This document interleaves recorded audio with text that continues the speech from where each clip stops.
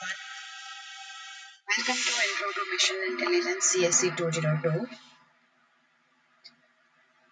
So as, as this is the first video and the first class, we need to know how and where to find the links and how to navigate through the links to have the better view about this course. So just click on your Blackboard course shell of this um, Intro to Machine Intelligence. Click on the announcements and in the announcement first read the welcome to course announcement posted already and read it thoroughly to have um, an idea about how are we going to conduct this class um, how to submit assignments how to communicate with each other and the instructor that is with me where to find the class lectures videos and what is the book. Oh i cannot highlight it here so this is the provided book for it. And uh, again in addition to that for this course you need to install uh, the software tool the package that is Jupyter Notebook. You may also use Anaconda Spyder but most of the videos in my most of the videos you will see Jupyter Notebook. So you need to install it in your own system. I have posted some of the videos how to install it but still if you face an issue please don't hesitate, hesitate to contact the um, IT at um, in your campus. Okay, you should find a phone number or email ID um, of IT of Eastern Connecticut State University. So don't hesitate to con contact them. It, it should be easier to install it through the video that I provided. Okay, so this is the announcement part. After that, go to the syllabus additional in, uh, additional instructions. Here you will find the syllabus. Read it thoroughly. What is provided? What are the guidelines for grading? Um, your course schedule? All, those things are provided in the um, syllabus. You will also find the book information as well. And uh, here, see, this is the Python installation instruction. You need to see you need to follow all this instruction provided in this pdf um, for successfully installing python in your pc and how to see you need python you need uh, jupyter notebook. If you have Spyder also that will help you. These are all programming environments or the ides available for python programming. Now here see i have provided three links to install Python 3.7.4 version on Windows. Okay, it's specifically for Windows. And see if you have iOS, MacBook. So you need to look for uh, the installation videos. It should be in the YouTube. As I have a Windows PC, uh, it was easier for me to follow this link. Okay, so that's why I just provided here. If you don't have Windows, some other uh, operating systems, please try it uh, try to look for it in the youtube. Then how to install python with anaconda? Jupyter notebook Spyder. See if you install anaconda in the same package when it gets uh, okay let me open it through. Yes here. See when i installed anaconda see this folder here it's anaconda 364 bits so when you install it by default it will give you this anaconda powershell prompt the command prompt like you have the command prompt in your uh, pc or laptop.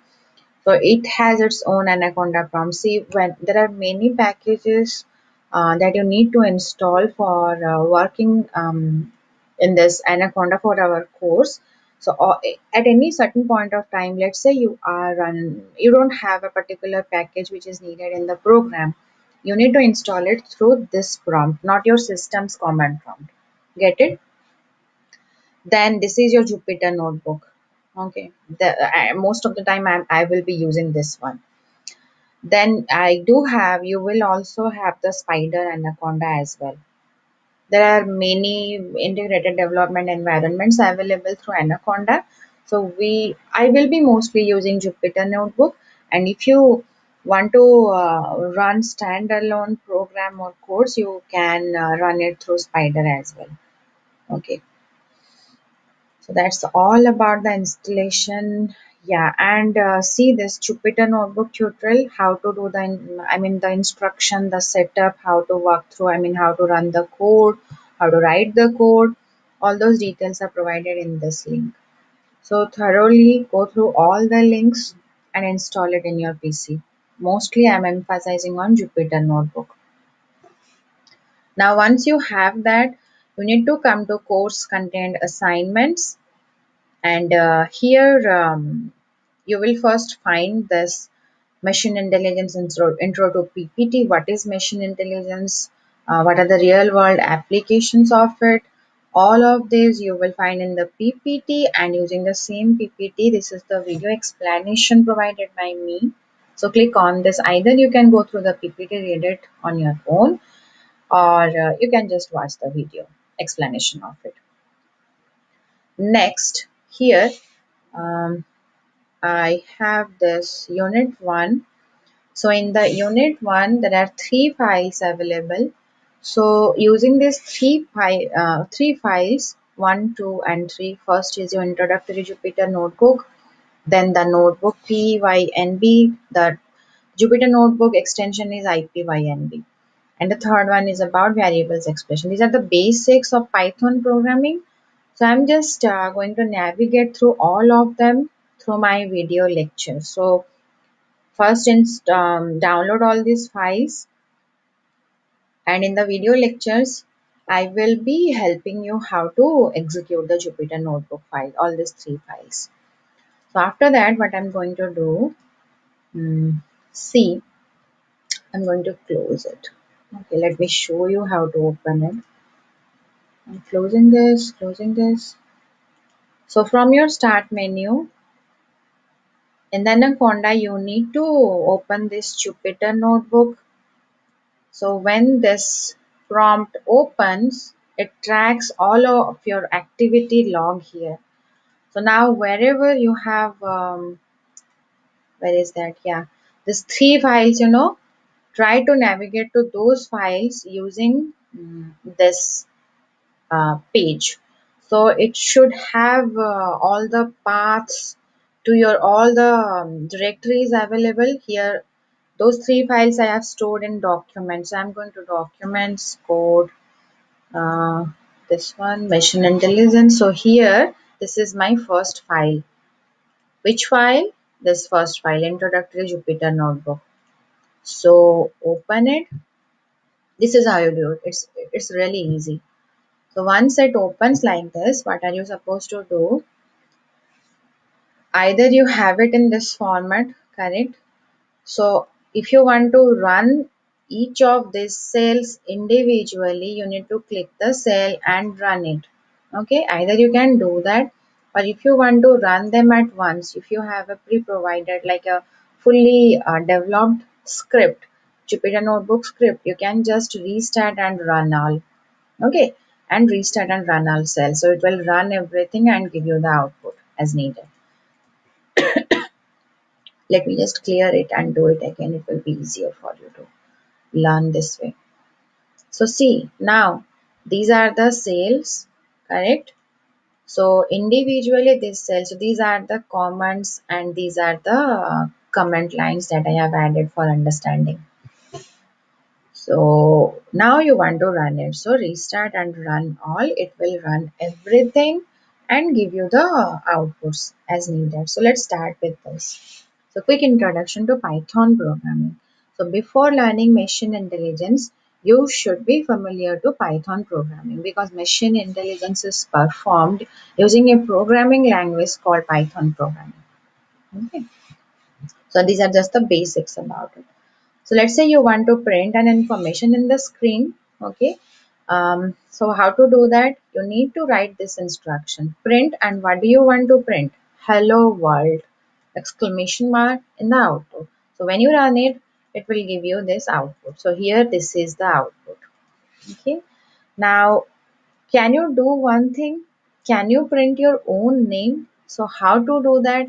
in the print statement in the single quotation marks just add your name okay complete it and submit this file in the blackboard or, or just practice it you don't have to submit it just um, practice it on your own you can just simply write your uh, code here like this print um, let's say my name is Somya I'm just going to run it and see here it's printed Somya so like that you just um, run it on your own.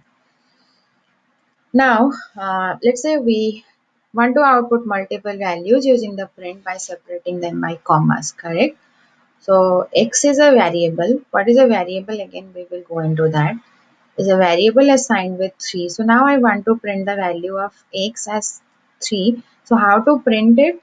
This is, is it's to be printed. So here this is the print statement for it. In the single quotation mark, print the message, then the value. then when you run it, it will give you this output. Now next, let me do one thing. Let me clear it. It will be easier to go step by step so that you will see um, all the output at once. Yeah. Now more printing op options. So see uh, so there is a sep keyword uh, which is used to separate each object. So let's say you want to separate the abc by a hyphen. Um, okay. So when you run it it should give you this output. Now you want to print uh, let's say in this way. There is like say there is another one keyword end. So end uh, what it does actually let me show you. If, if i have these two statements only. Here see i have another two statement but they have been commented out by using a pound sign preceding it so if you mention like this with the comments they are not going to be executed. They are inactive now and these are my active comments. So when i run it see how it printed. Abc in one line and then in the next line D correct? So now I'm commenting out these two and uh, running these two okay? So when I run it see what happened. ABC now next you have end okay equal to uh, single quotation marks. So when it's your D there is a end statement like this. It took the D from the next line and printed it just after the um, last character of uh, the first print statement. Okay so this is the difference. Okay.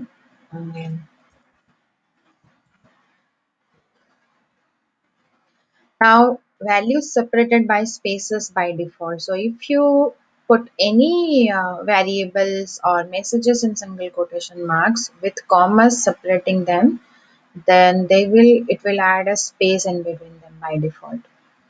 If you don't want to space uh, mention space in between the values how to do that? So this is the way to write it. These are different ways of writing the print statements.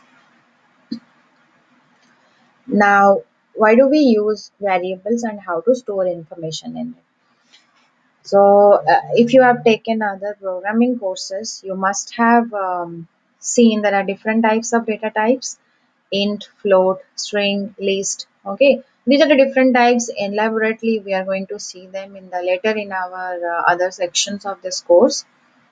Okay, so I'm starting with this here. Um, these are two variables, and you are just adding them. So num1 has 4, num2 has 5. After adding them, it gives us the result 9. See, it's so easy. Now, let's say welcome variable will have hello so it see the comment, store the string hello in the variable welcome. So when I do that, now welcome has hello. Mm. So now next, uh, here see this is a list, this is a variable and this is a list which has three values in it. Okay. And now when I print it like this, it will give me all the list elements here.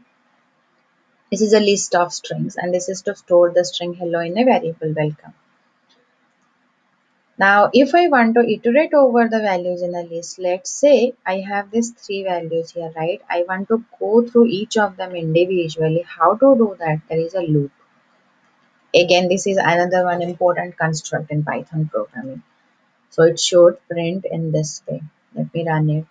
So the words are, okay, so for each word in the list words, this one, okay, in this list. it will print each individual word with have a, having a space uh, before all the words correct understood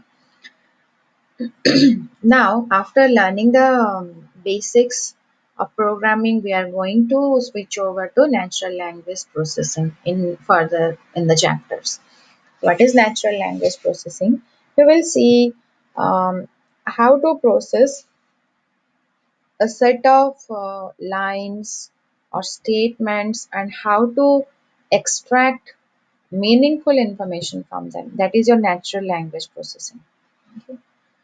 Here see sorry about that. We are uh, importing. Here see there are many packages in python um, library and uh, in each of the packages they have their predefined inbuilt functions that we should use so that is why we are using requests because requests is going to use the get function. This is going to get the file in this uh, url provided gutenberg.org so when i run this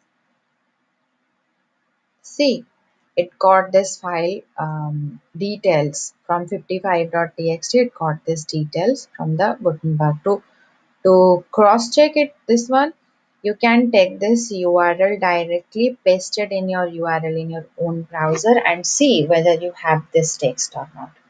It's magic right? So now we have extracted the text. Using another one package spaCy.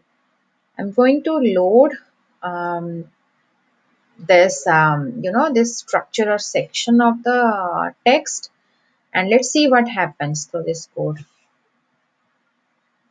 it won't be meaningful to explain you everything here whatever I have. So here it is supposed to process the text that it got from here. And um, after processing it see what happened. It is going to render all the document uh, values. I mean uh, these are the highlighted tags available. Okay? Which whatever is highlighted that details are provided like this it looks like kind of a web uh, web page right so now let's say you want to create a list of tokens that are identified as a person now again we are um, extracting some meaningful uh, information using the natural language processing. You don't have to go to the detail of it. So when I run it, see, it's going to list a number of tokens, whatever important segments or words present, how many times they are being repeated. That is explained here. Now, if using all these words, I want to um, create a word cloud like a graph. How to do that? we are going to import the word cloud from the word cloud library when I run it it will give me this type of uh, graph where it includes all the tokens from here. Okay it's interesting correct? This is how uh, the Jupyter notebook is being processed and how you can run them at once. All the cells you can run them at once or individually go one by one to understand it